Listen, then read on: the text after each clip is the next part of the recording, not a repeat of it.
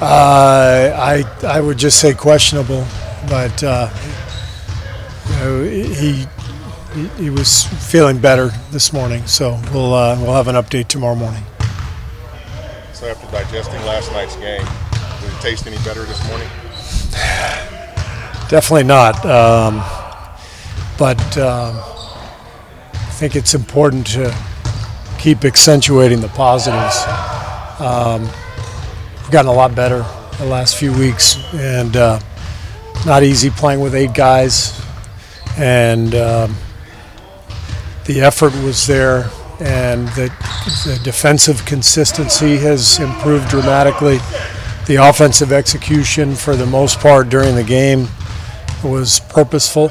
You know, we, we took care of the ball, we moved the ball. Fourth quarter, when the pressure came, we didn't we didn't execute, but that's kind of the next step for this this young group, and uh, so that's uh, that's that's what we're aiming to improve upon um, as a as a group. You know, the players, but also the coaches. You know, we have to do our part to put them in the best position to succeed, and uh, so it's kind of one step at a time. And having said all that, I'm, you know, I've, I've been doing this for a long time in, in one capacity or another, and I see a lot of really positive things from this team, and we're going to get some people back. You know, we've been uh, hampered by a lot of injuries, but you know, we get D'Lo back, we get Loon back, we get Draymond back. Um, what the young guys have done, what they've helped to build in the early part of the season foundationally, we're going to start winning some games, and and uh, we just got to keep doing what we're doing. As well as Bowman was playing last night, just straight up with Chris Paul so much of the time. Did you like his chances in isolation there at the end, and that was that second to last possession? Did you like his chances in ISO there? Well, we were searching, you know, those last few minutes, we were scrambling against the pressure. Um, really, most of the fourth quarter, Oklahoma City really ramped up their pressure. And um, about the last six minutes or so, we, we really struggled to score. So we were trying to, to find open shots, and uh, Ky was having a great game, and we were putting him in pick and roll. Um, but we didn't do a good job. Um, I didn't do a good job as a coach of uh, creating the right spacing, uh, getting the the uh, the right uh, pieces in the right places on the floor um, to enable Ky to have the, the space he needed. And uh, so this, this is the kind of stuff that uh, we will be working on and getting better with. Said last night that he thought you guys in the last few minutes got away from what he'd been doing all game. Yeah. How much of that was because of what OKC was doing on defense, and how much of it was just feeling the heat of the game coming down to the final minute? I think it's both. I mean, eh, you know, it's always more difficult to execute down the stretch, um, even for a veteran team, just because of the uh, the intensity of the defensive pressure. It's not possible to put that kind of defensive pressure on for 48 minutes.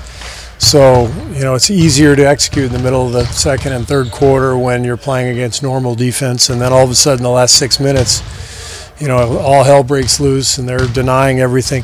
That's where you have to learn to execute, and uh, that's our, our next step as a team. But I, I give Oklahoma City a lot of credit. They did a great job defensively, and, uh, and we've got to be able to counter that with uh, better execution ourselves. How much of the breakdowns just have to do with you got eight guys that are playing a lot of minutes and they've been doing so for a while? Well, I think uh, it's an excuse. Um, it's a valid excuse, but uh, I point more towards uh, our own lack of, of uh, spacing and, and execution rather than fatigue. Um, our guys put in the, the, the effort to win that game last night, um, but we, we were not prepared well enough uh, to, to finish a game like that. And that's, um it's a combination of just being really, really young and uh, as a coaching staff, um, you know, focusing on a whole lot of things, trying to bring this young group along, and needing to, frankly, needing to to uh, put more time in on situational stuff, late game execution, that kind of stuff. As a player, there's no experience, no substitute for experience, and uh, that's the good thing. Is last night will be a great learning tool. The bad thing is it's know, it's no fun. Is that like the main part of the film that you'll focus on? Is like those last three, four minutes? We uh, we watched a lot of film already this morning, and a lot of the film was of, of the meat of the game and the good stuff that we did and to put us in position. And then we also watched the last couple minutes of of uh, our execution. So it's a good good day to learn for all of our guys, and um, light day physically because of the the uh, the minutes and the fact that we've got a game tomorrow and we're playing eight guys. How have you found the mood in the building with the season not feeling great? Just in general, The- the- Yeah, the mood's still good. We have great guys, um, really, really uh, special people. Um, you know, and, and keep in mind we have young players who are playing for their careers. Um, we have veteran players who have bounced around the league a little bit.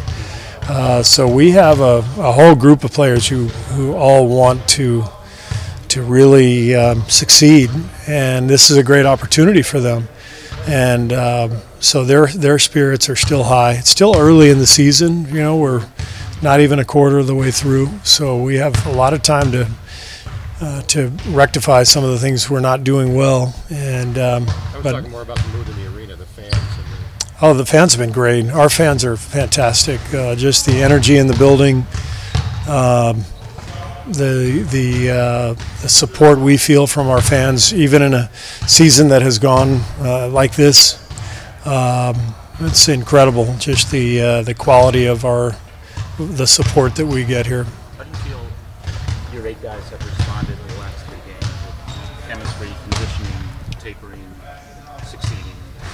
Uh, last three games. Well, you've had eight for, for three games. Oh yeah, yeah. Um, well, the Dallas game was uh, it's rough. You know, I think fatigue was a factor right from the beginning, and Dallas just took it to us, and and uh, that one felt like an aberration to me. The last two games have felt more like what our team is really about, which is uh, young guys trying to execute, trying to learn, and competing the whole way through and hanging in there.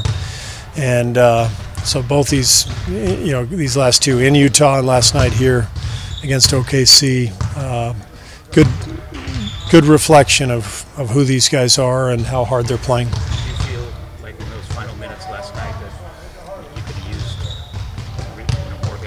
Could have used Draymond Green and D'Angelo Russell for sure, and Kevon Looney would have been very helpful.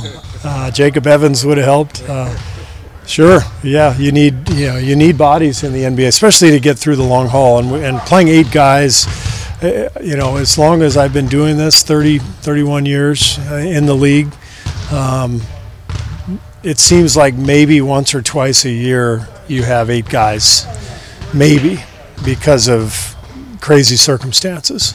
Um, so for us to be doing this almost routinely now is, uh, I've never seen it, and uh, so it's a testament to the group, the Elite Eight that I like to call them. The Elite Eight's doing a hell of a job hanging in there, And you have eight tomorrow.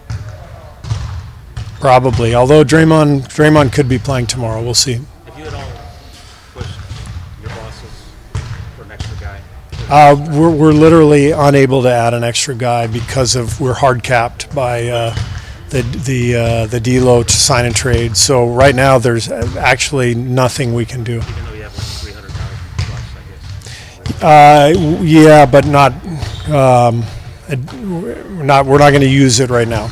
Yeah, that we want to maintain our flexibility because we've you know remember one of our eight guys, our starting point guard, is on a two-way and he's quickly using up his days and. Um, and then one of our injured players is uh, another two-way, and so it doesn't make sense to burn through the final few hundred thousand dollars we can spend right now. Yeah.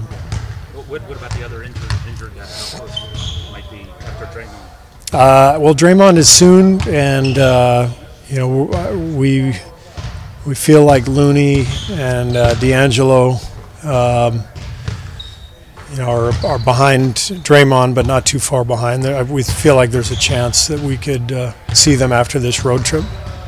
Earlier, you said you felt like the young guys had established a foundation. What do you mean by that? What kind of foundation are you having this so far? Uh, the the defense early in the season, we were springing leaks left and right, and we we didn't have an identity. We didn't have a, a pattern that we could count on. And I would say over the last two weeks, our defense uh, has improved dramatically. Um, in terms of um, the execution of doing what we're doing and doing it consistently and watching it on tape and seeing that guys are playing together. They're on a string. They're they're executing the game plan. None of those things were happening a month ago. So uh, we're playing together. We're, we're more unified. We're uh, we're more fundamentally sound. Is that just time together? Is that literally It's time together, but it's also, uh, you know, we just, I think, figured some things out together, coaches and players, watching a lot of film. Um, you know, continuity is such a big deal in this league, and we literally, once we had all the injuries, we literally had zero continuity.